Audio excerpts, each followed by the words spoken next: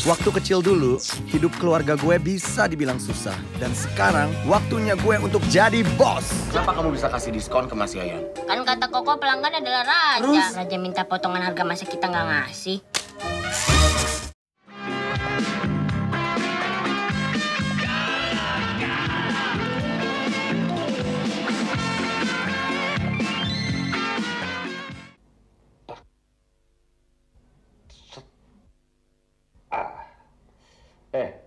Pesan yang kau terima tadi dari mana sih?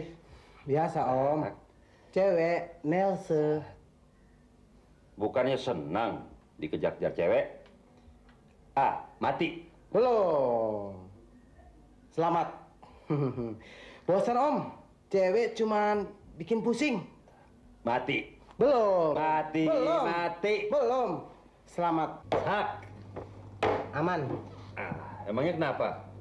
Dia mau ajak kamu bermalam minggu? Biasa deh. Nelson ntar malam mau minta dianterin ke pesta. Ah, ter. Hmm, Ntar jam 3 dia mau telepon balik. Mau minta kepastian. Sekarang jam berapa? Aduh. Tiga menit lagi jam 3 om. Ya, maju.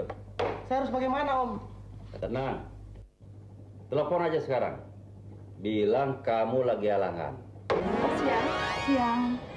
Di belum mbak? Biasa. Eh, hari ada? Ada.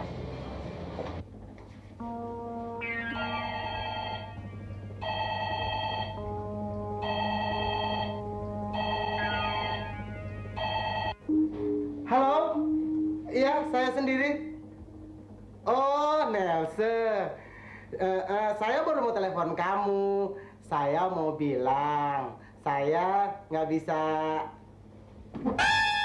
Anu, ada halangan. Halangan apaan sih? Kayak cewek aja. Halangannya? Bilang aja teman kamu sakit. Aduh, jangan kencang-kencang dong, Om. Ntar kedengaran sama dia. Kalau alasan teman sakit, itu udah nggak up to date, Om. Alasan yang lebih ngetren, kek. Bilang temen gua sakit. Teman kamu sakit. Sakit apaan? Uh, masuk lagi deh. Sakitnya, eh, ka- kamu nanya sakitnya?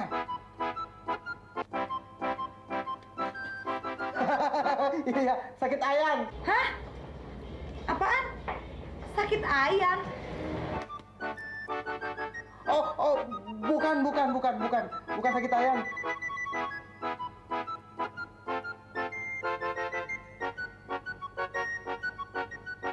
Oh iya iya iya, iya.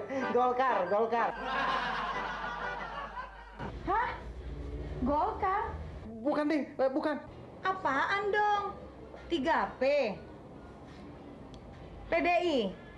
Jangan ngaco lu. Pemilu kan udah lewat. Golkar, Golkar berjalan. Gol- Orang, orang, orang berjalan, orang berjalan, orang berjalan. Orang, orang, orang, orang ngebut, ngebut, ngebruk. Oh, orang ngebut, pakai motor. Tabrak, tabrak. Orang, orang tabrak motor. Orang, orang ketabrak motor. Orang ketabrak motor. Orang ketabrak motor. Mati. Udah sinting kali tuh orang. Masa temennya ketabrak motor? Dia kegirangan. Iya. Aman, aman. Sekarang kita bebas dari urusan perempuan. Aduh. Terima kasih banyak Om. Porta de alça, matriculali Nona minta dansa, dansa empat kali. Serem ke kiri, serem ke kanan.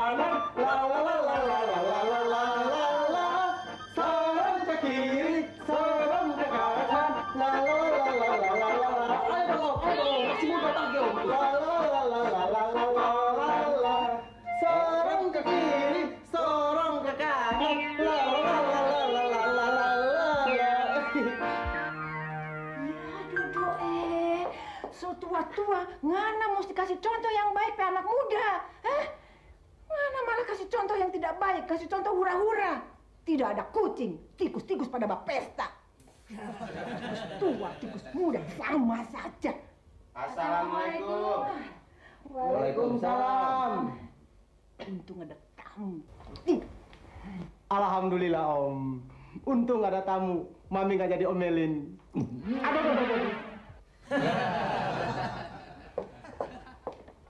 Sorry nih tante, nggak ganggu sebentar. Nggak apa-apa.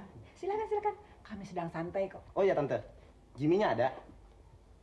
Belum pulang. Tuh kan, belum pulang. Yuk, yuk, duduk, duduk, duduk. Oh iya tante. Angkat ya. Oke, yuk. Lanjut terus pertempuran. Tarik. Hmm, Ayo. Eh, tadi tanya soal Jimmy. Wah, wah, wah, wah, wah. Ada apa? Anu tante, ada sedikit masalah. Eh, adik perempuan saya. Kenapa ada perempuan ini? Iya. Ada masalah? Hmm, makan. Iya. Eh, Salah, masalah serius. Hmm. Punya anak perempuan zaman sekarang memang repot. Mudah dibujuk rayuan gombal. Iya, benteng. Kalau sudah terlanjur hamil begini, anak lakinya kabur, kan keluarga jadi repot. Kalau udah urusan hamil-hamilan begini, main jatuhnya bakal kacau deh. Kalian tenang saja. Jangan dimarahin. Abil, bawa saja adiknya sini. Nanti Om ajak dia ngobrol-ngobrol.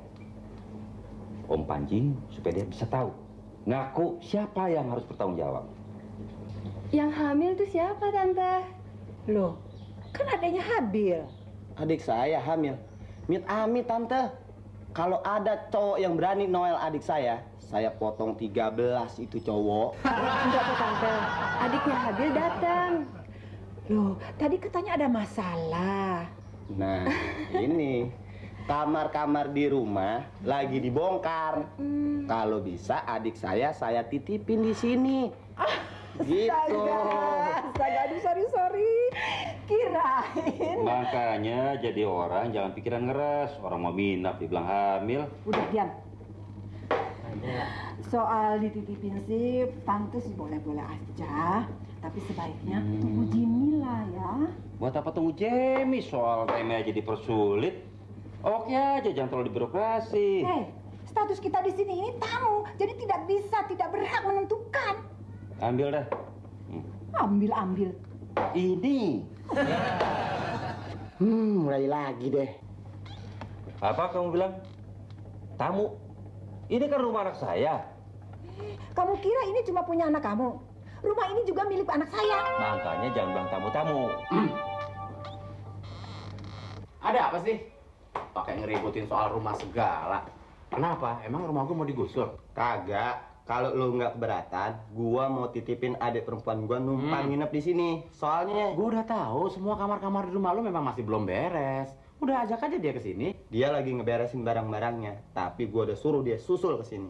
Oh ya, kalau bisa minta tolong Sion nganterin dia jalan-jalan. Ngeliat-liat Jakarta. Kita cuma percaya sama Sion. Maklum, adiknya Habil masih muda banget. Jadi kalau diantar sama orang lain takutnya kenapa-napa. Jangan khawatir. Kalau sama Sion dijamin aman. Wah, sorry, sorry. Mbak Mary kan lagi keluar kota. Saya harus bantu Mami. You understand? Stand kan? Alah, kamu kenapa so amat sih? Bukannya so, sorry aja. Soal wanita lagi alergi.